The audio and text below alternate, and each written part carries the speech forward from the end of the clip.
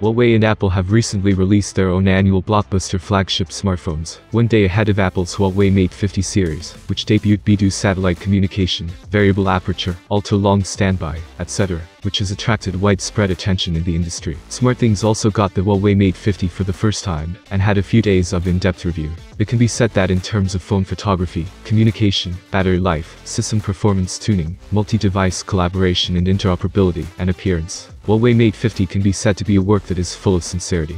After 690 days, the Huawei Mate series has finally returned. Through the in-depth review of Huawei Mate 50, we can see Huawei's thinking on smartphone appearance, and Huawei's forward-looking judgment on industry development trends. When it comes to the Mate series, the iconic appearance has always been a major feature of it. This time, the Huawei Mate 50 series still continues the overall appearance of the previous generation square plus circle, but the internal lens arrangement has been adjusted. The four cameras and sensors are evenly dispersed in the ring, which is called a symmetrical situation. What's more interesting is that in the circle, Huawei used an appearance called Paris stud, which improved the sophistication of the phone to a certain extent. It has to be said that today, when the appearance of the back of the phone is difficult to come up with new ideas, the back appearance of the Huawei Mate 50 series is still highly recognizable, and it also retains the characteristics of business style. According to the supply chain information, this time, the Huawei Mate 50 screen is still provided by BOE, which has cooperated for many years. Overall, the display effect of this screen is relatively transparent. Even in a bright outdoor environment, the screen can clearly present the picture in color. It is worth mentioning that the Huawei Mate 50 plain leather version uses Huawei's self-developed Kunlun glass. This time I also simulated letting the phone fall freely from the usual handheld height. After landing, the screen surface does not have any scratches, and the glass is resistant to drop and scratch resistance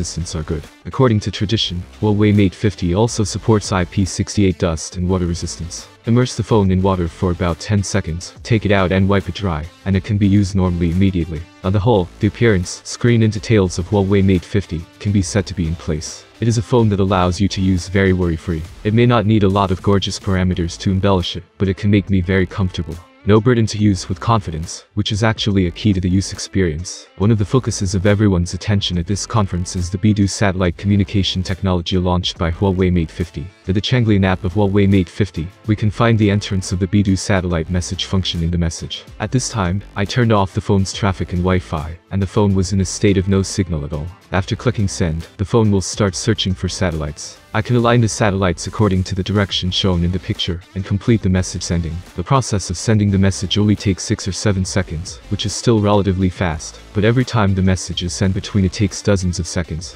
Once sent, the contact will receive a text message with your location and the content of the SOS message. It can be said that this life-saving function is more convenient to use, and the function is relatively complete and mature, so it is no longer an experimental function. The variable aperture function is also the focus of my experience this time. How can it make a difference to our actual photographing experience? As far as the actual situation is concerned, the aperture can indeed significantly change the depth of field in different gears. For example, in this set of proofs, we can clearly see that in the case of a large aperture, the depth of field is relatively shallow, and only close objects are clear, while the further ones are blurred. In the mode with a smaller aperture, the foreground or distant view in the picture will be clear, and the objects in the entire picture can be fully captured, which has greatly increased the playability of the main camera. At the same time, outsole photography is prone to blur and distortion at the edge of the picture. Through the comparison of the proofs, we can also see that the small aperture can indeed improve the blur and distortion of the edge of the picture, but the image quality is compared with the normal aperture. Mode is slightly lowered. In general, the variable aperture technology does not bring qualitative changes to the photo experience, but provides new ways of taking pictures and ideas. In addition to the variable aperture, Huawei's traditional strengths of periscope telephoto photography have been retained on the Huawei Mate 50 series this time,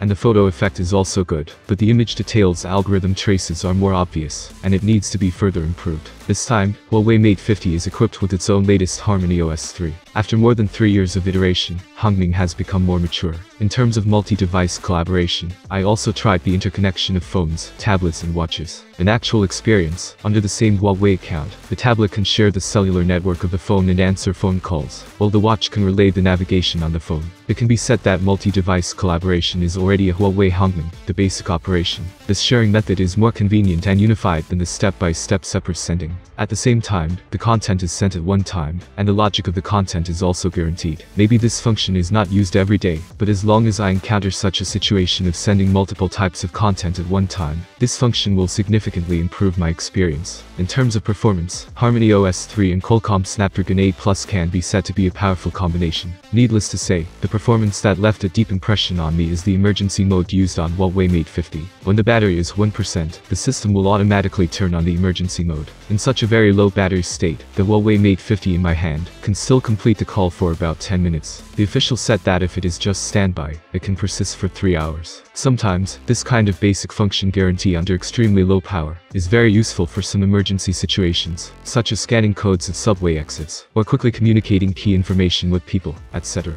After experiencing Huawei Mate 50, a prominent feeling for me is stable. The flagship benchmark level screen, stable and long battery life guarantee, complete lens combination from wide angle to telephoto configuration, heartwarming function in emergency situations. We can see that even at a time when Kirin chips are difficult to produce, and the advantage of far ahead is difficult to achieve in the past, Huawei still hopes that the works it handed over are worthy of the word high-end. Less aggressive Huawei, more compass. Of course, there is a hint of helplessness behind this. Huawei's phone business will not give up for the time being, and how to get back on track in the future is still a big challenge for Huawei. Write your thoughts about the new smartphone. I will be very glad to read your comments. Thanks for watching, have a nice day and see you soon.